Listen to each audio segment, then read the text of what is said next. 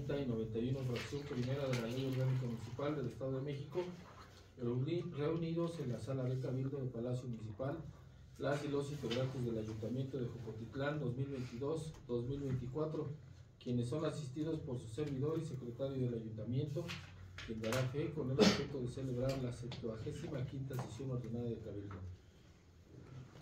Para dar cumplimiento a lo dispuesto por la Ley Orgánica Municipal del Estado de México, en su artículo 48, fracción primera y quinta, se da inicio a la presente sesión ordinaria de Cabildo.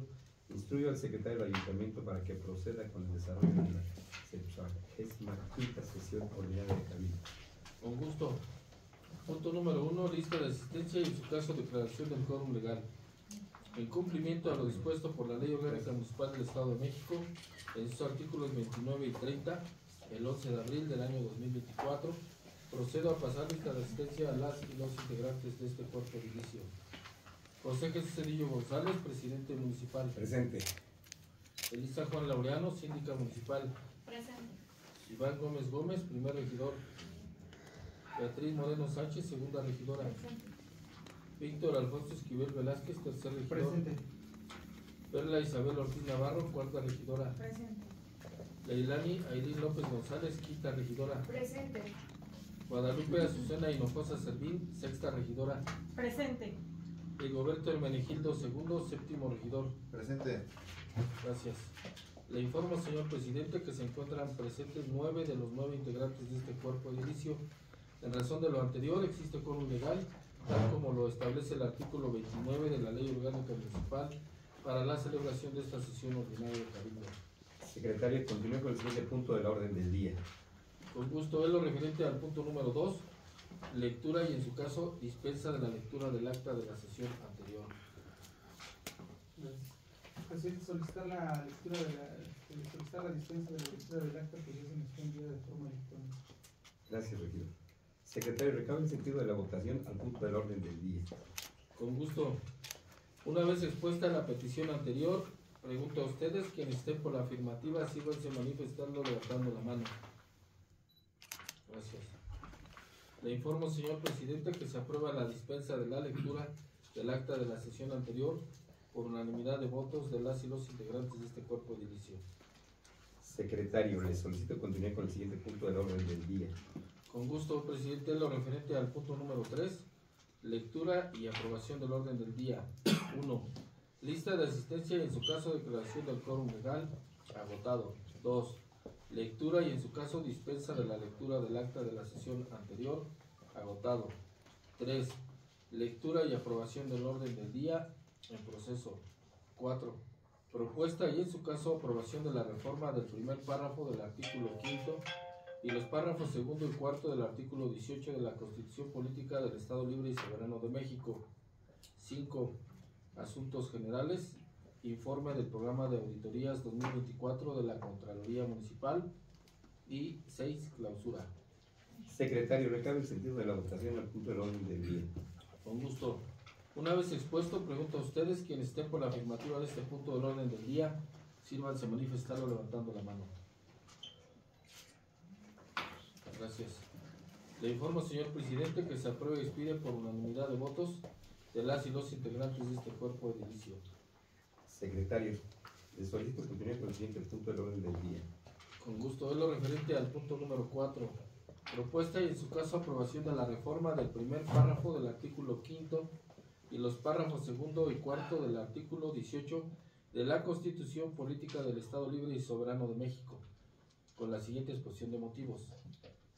Nuestro planeta enfrenta una crisis climática que es evidente, producto de las acciones antropogénicas. La naturaleza está sufriendo cada vez más la sobreexplotación de los ecosistemas, lo que representa la extinción de millones de especies en nuestro planeta. En gran medida esto se debe al estilo de vida de la cultura que tiene como premisa la dominación de la naturaleza. Esto consiste en que el modelo económico que impera en el mundo promueve y privilegia la producción de bienes y servicios para la satisfacción de los individuos con bienes de consumo que no son, en estricto sentido, primordiales para la subsistencia del ser humano, pero que por el contrario ocasionan el detrimento de la salud y el del planeta. Dada esta situación, los países del mundo realizan cada año numerosas cumbres mundiales en materia de cambio climático y rescate del medio ambiente. En estas se exponen la situación del calentamiento global, así como experiencias innovadoras. También se proponen iniciativas, se firman convenios, compromisos y acuerdos internacionales para disminuir la huella ambiental de la, de la civilización. Los delegados discuten y refrendan el compromiso de sus gobiernos con la lucha contra el cambio climático, entre otros.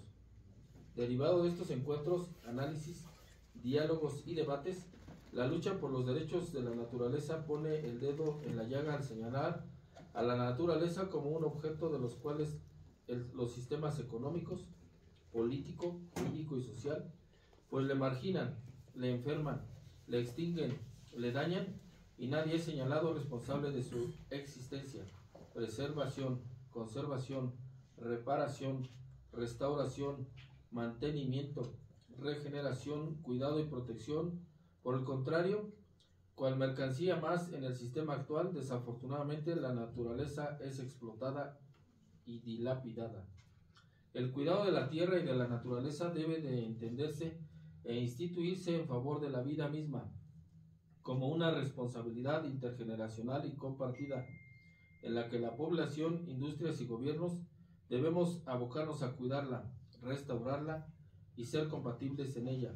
Es decir, tenemos el reto de cambiar la forma en la que estamos habitando nuestro planeta.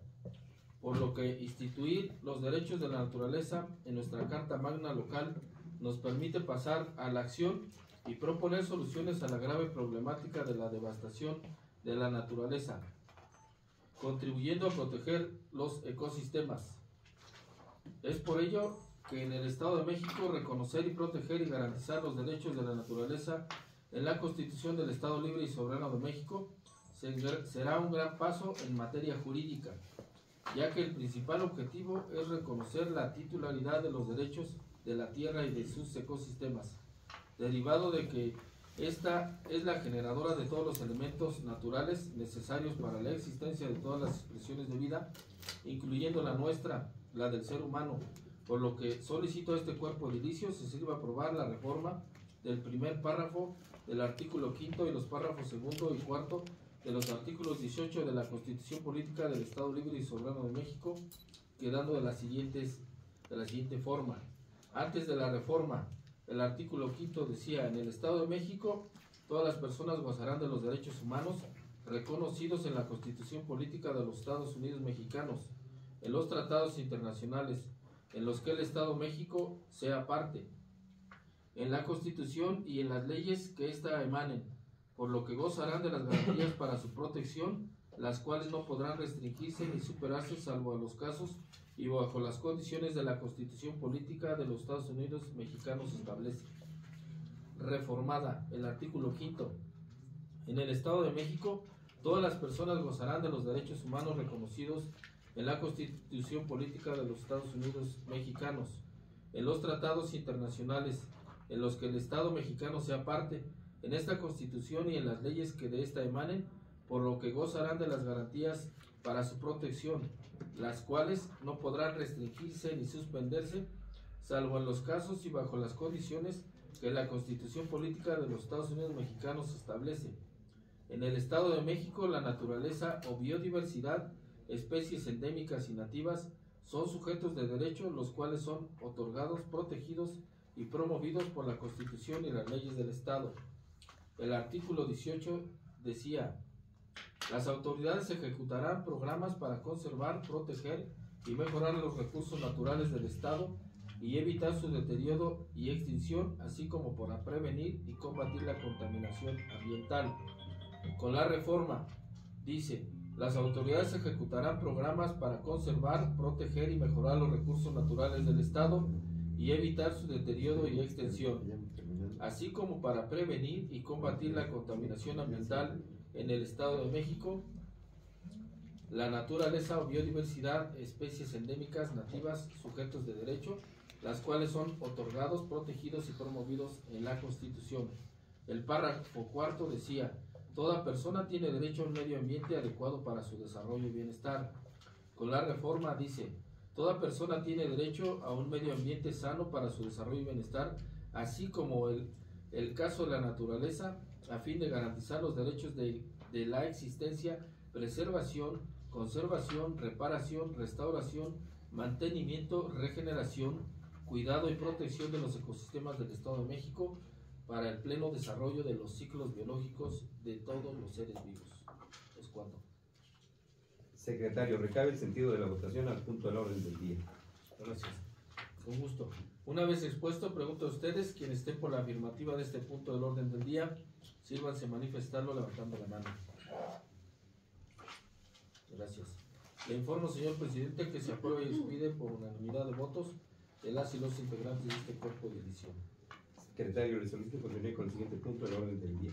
Con gusto lo referente al punto número 5, los asuntos generales, donde se tiene el informe del programa de auditorías 2024 de la Contraloría Municipal, con la finalidad de dar cumplimiento a lo establecido en los artículos 115, fracciones primera y segunda de la Constitución Política de los Estados Unidos Mexicanos, 122 de la Constitución Política del Estado Libre y Soberano de México, 2, 3, 86, 88 y 112 fracción primera, segunda, quinta y onceava de la Ley Orgánica Municipal del Estado de México, 11 fracción segunda de la Ley de Responsabilidades Administrativas del Estado de México y municipios, la Contraloría Municipal ha tenido a bien elaborar el Programa Anual de Auditorías 2024, el cual servirá como un instrumento para fiscalizar, supervisar, evaluar y prever que los recursos humanos, materiales, técnicos y financieros de la Hacienda Pública Municipal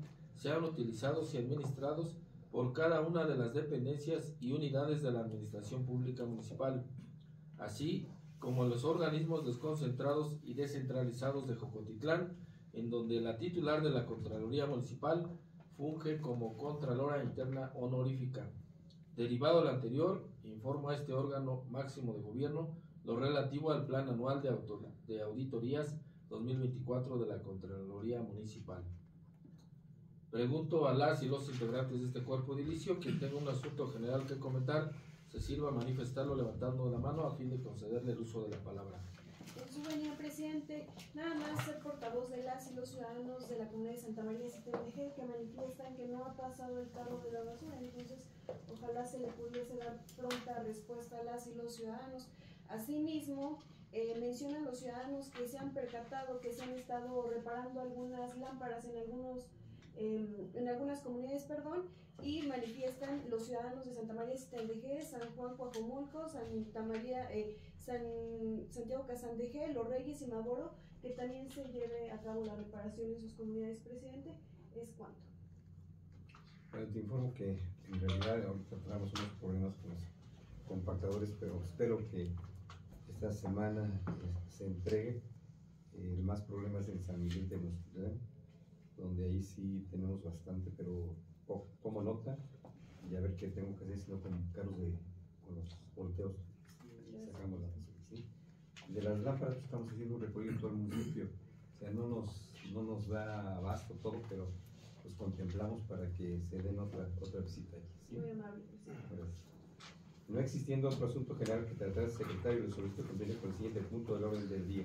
Con gusto, presidente, lo referente al punto número 6, la clausura, le informo, señor presidente, que los puntos del orden del día de esta 75 sesión ordinaria de Cabildo han sido debidamente agotados. Declaro no habiendo otro asunto que tratar, siendo las 8 horas con 20 minutos del día 11 de abril del año 2024, se da por concluida la 65 sesión ordinaria de Cabildo, agradeciendo la presencia de las síndicas, de las regidoras y de los regidores y del señor secretario. Que tengan un bonito día. Muchas gracias. Amén.